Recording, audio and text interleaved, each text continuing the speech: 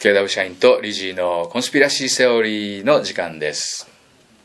これやっぱりあの、コンスピラシーセオリーってちょっと伸ばすと、なんかバラエティ番組っぽくなります番組っぽくなりね。ますねなんかシュッとかってやってね私、セオリー、イエーイみたいなねイエーイみ。たい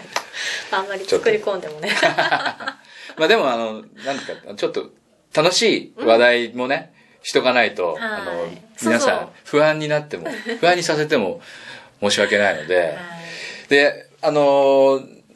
前回あの、桜子さんとの会にテイラー・スウィフトの話をしたんですけども、それはあの、スーパーボールに出る前までの話で、で、当日来ました。うん。で、日本でもコンサート4夜連続でやりきってね、まあ、相当な体力を使って、で、あの、外務省が、あの、必ずアメリカスーパーボールに間に合うように帰れますからっていうような、あの、書類を出したんですよね。日本の外務省。で、それで、おそらく最後の夜、ドーム終わって、自家用ジェットで、プライベートジェットではい、アメリカに戻り、ラスベガスの、えー、これね、おレーダースのスタジアムなんですよ。もうレーダース僕いつも来てるのは黒い、あの、チームなんですけど、レーダースのチームで行われた、サンフランシスコ 49ers とカンザスシティチーフスの、まあ、決勝戦ですね。で、そこのカンザスシティのタイトエンドって言って、えーっと、クォーターバックが割と近めのパスを投げるところにいる選手なんですけど、まあその、えっと、ケルシーっていう選手とテイラー・スウィフトが今恋仲にあって、ああ超ラブラブなんですよ。それで、そのケルシーとチーフスは強いんですよ、今。すごく。はい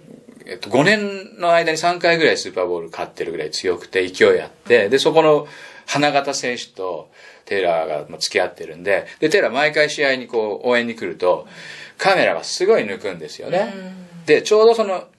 まあ、NFL、ナショナルフットボールリーグにとって、一番欠けている、その人口分布が、そのテイラー・スウィフトの持っているティーンエイジャーの女の子っていうところなんで、テイラー・スウィフトがアメフトにすごく興味があって、もうフットボール最高って言われると、もう NFL 的には、もう美味しくて美味しくて、今まで見てなかった人どんどんどんどん引き込めるっていうね。で、話題になるから、まあ見るし。ということで、あの、スーパーボールっていうのは決勝戦なんですけど、決勝の前の試合とかでも、ちょっとなんか、判定おかしいんじゃないのみたいなの言われてたけど、でもどうしても NFL は、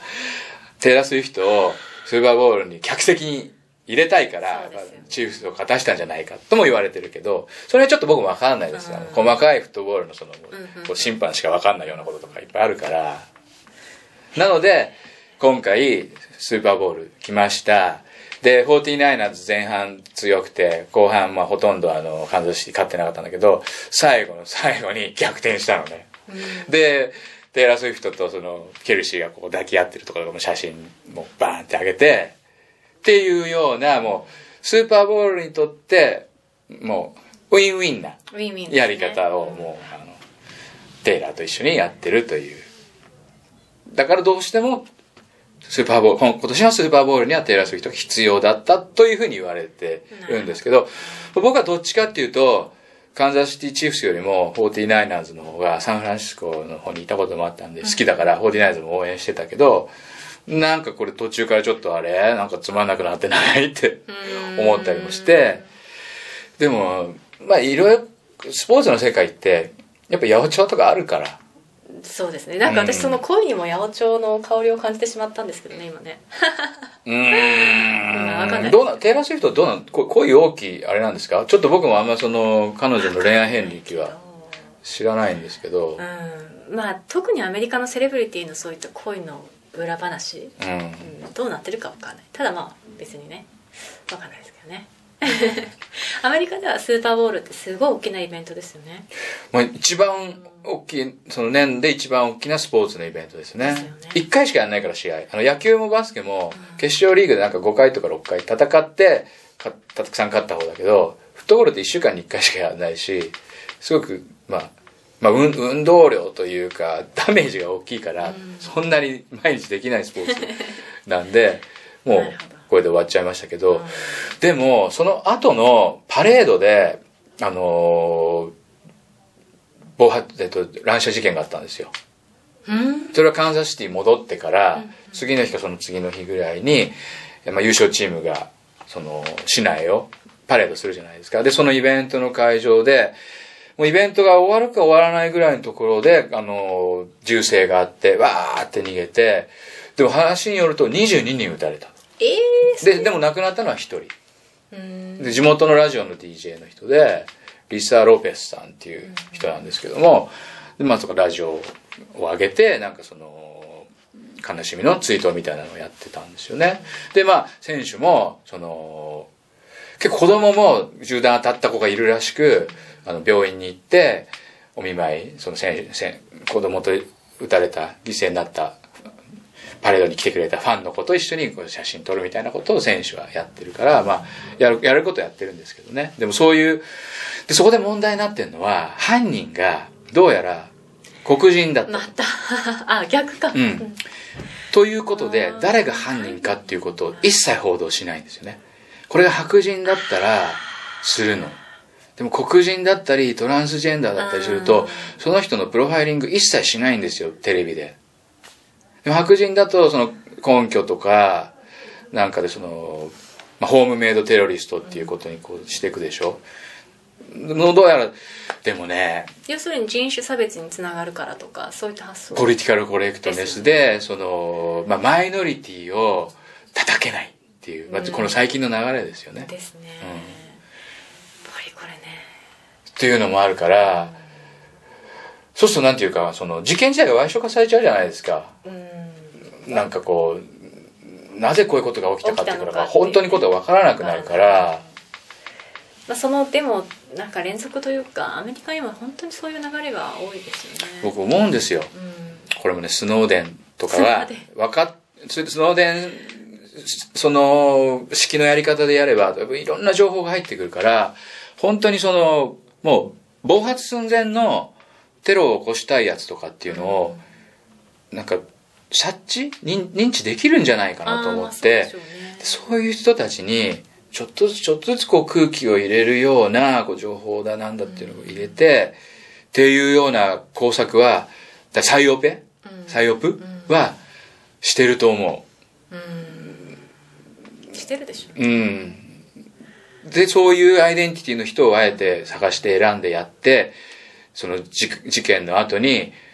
事件のその全貌が全然つかめないよねっていう。だから、まあ、調べりゃ、警察行きゃ書類だなんだとか、弁護士だなんだ書類調べりゃわかるけど、結局メディアで、こうですってやらないと、その、広がらないから、それをやらないと、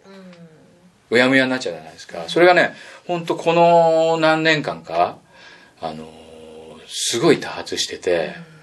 ちょっと一発出てこないのは申し訳ないんですけど、あれあるかな？まあ日本でいうとね別にどこどこの出身だとか言っても単一ほぼ単一民族なのであんまり理解できないですよねそういったところね。まあ、うーん、そういうのは、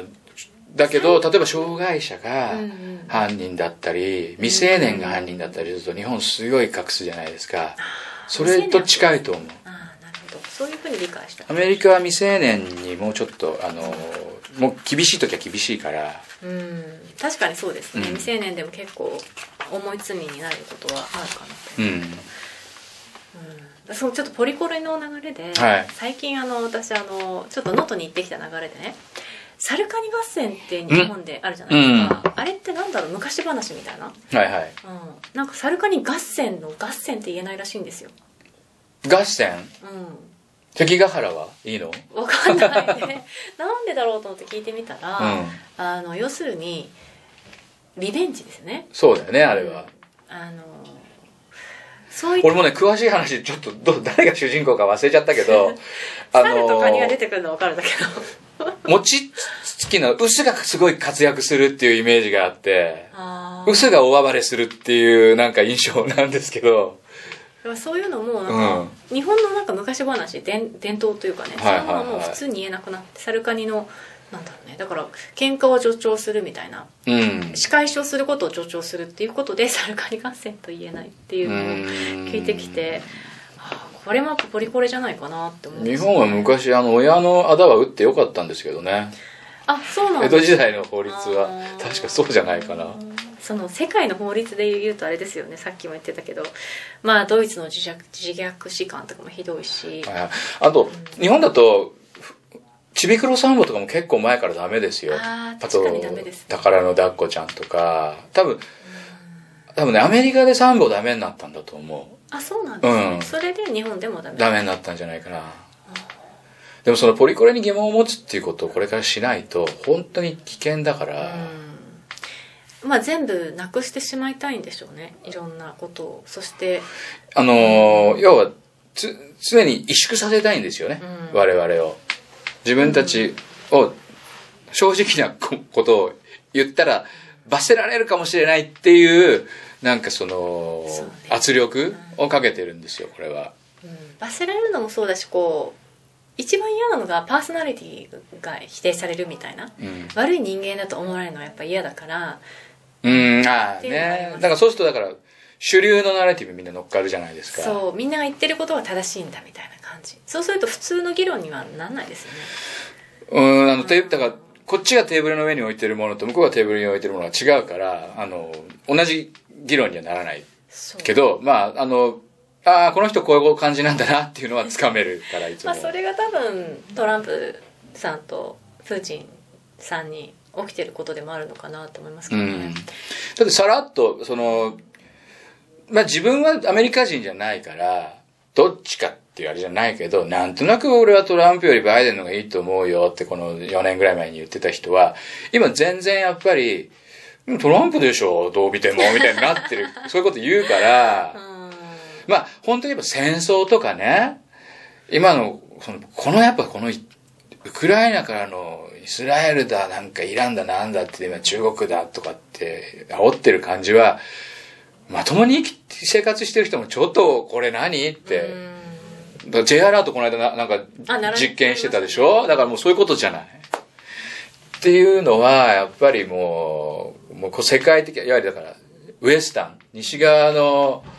阪急は今もうこのナレティブで洗脳しようとしてしますよ。けどまあ世界地図で見ると人口比で考えると23万まあね。人しかいないっていうことを日本人は知らされてないんですよね。じゃあ今インドで何が起きていてとかうん、グローバルサウスブリックス側でどういった状況なのかっていう報道はあんまりないですよね、まあ、僕彼らも今だけかもしれないし、相手があまりにも強大でそれを倒すにはここが団結するしかないよっていう結論に至っただけでまあこの先その、うん、だから僕は本当やっぱ中国がどれほどその中華思想で世界を支配しようとしてるかっていうのが鍵だと思うけど、プーチンはもう、まあもちろん、もともと大きいし、その、本当に国として国家として強大な力になって周りを、もう、なんていうか、併合した方が全部幸せになるんだったらそういう道を選ぶかもしれないけど、今あえて領土拡大をしようとはしてないってこの間はっきり言ったし、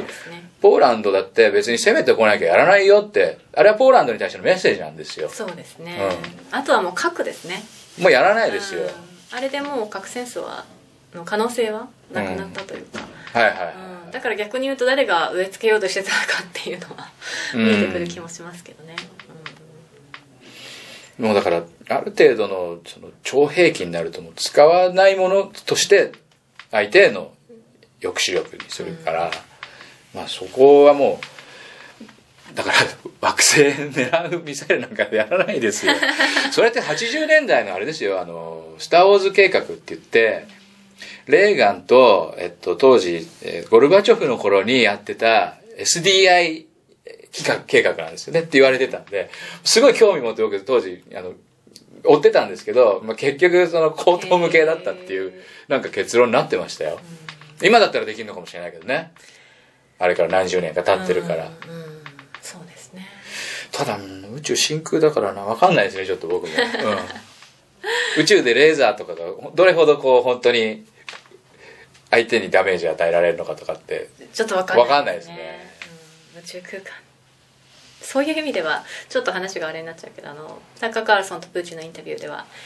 イーロン・マスクの AI の話もしてましたよねはいはいはいはいはい。イイーロン・マスクは一番僕も、あの、保留にしてます。うんあの、今はすごく、あの、僕たちがやりやすいプラットフォームを作ってくれてますけど、その先に何かかを考えてるかっていうのも知らされてないし、あの、面白いなと思ったのはやっぱりあの彼を止めることはできないと。